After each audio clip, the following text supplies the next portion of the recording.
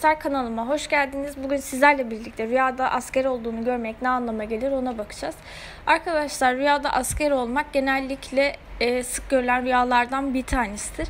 Hayra yorulan rüyalardandır. Rüya sahibinin gördüğü askeri ortama ve duruma bağlı olarak farklı yorumlanır.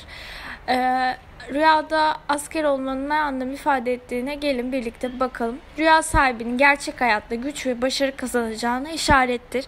Özellikle rüyada asker olduğunu gören kişi iş hayatında başarılı olacağı anlamına gelir.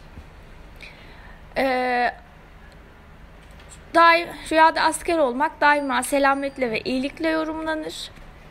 Rüyada asker kıyafetiyle askerler arasında oturup dinlendiğini görüyorsa bir kişi gerçek hayatta ve iş hayatında atacağı adımlarda dikkatli olmalıdır. E, kişi kendini eğitim alanında gördüyse çevresi tarafından sevilip sayılan biri olarak görülmektedir. Arkadaşlar kısaca rüyada asker olduğunu görmek bu şekilde. Kanalıma abone olmayı unutmayın.